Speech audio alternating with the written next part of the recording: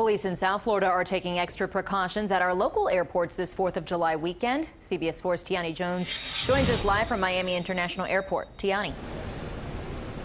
More than 200,000 people are expected to travel through Miami and Fort Lauderdale International airports this weekend.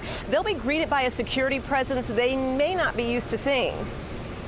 Friday, before travelers even got close to the airport, they were greeted with a security checkpoint. Dogs sweeping cars, police checking for suspicious behavior, heavily armed officers making their presence known. They're selected at random. There is no specific order or function. And what we're doing is making sure that everyone has all their credentials and they have a reason why they're coming into this airport. Once they got to the terminal, more officers, more dogs. Friday is the busiest travel day, 4th of July weekend for both Miami and Fort Lauderdale international airports. Most travelers paying little attention to the beefed up security, simply excited to get away.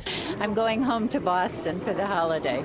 We're going to the Dominican Republic. I haven't been home in six years, so we're going to go visit family and so they can meet my kids. Morelis Cabrera is traveling with her two little boys. While excited, she admitted to being a little nervous coming to the airport. I've been thinking about it for a week. Definitely keeps you up at night. You know, I don't want them to be scared. I want them to be cautious. Though. Others said they had no problem with traveling, even after the terrorist attack in one of the world's busiest airports in Turkey. That doesn't make me scared to fly. I feel safe. I don't feel unsafe. Most travelers we talk to say caution in today's world is necessary because staying at home is not an option. You have to believe in God and just go. What, what can you do? You're not going to stay home.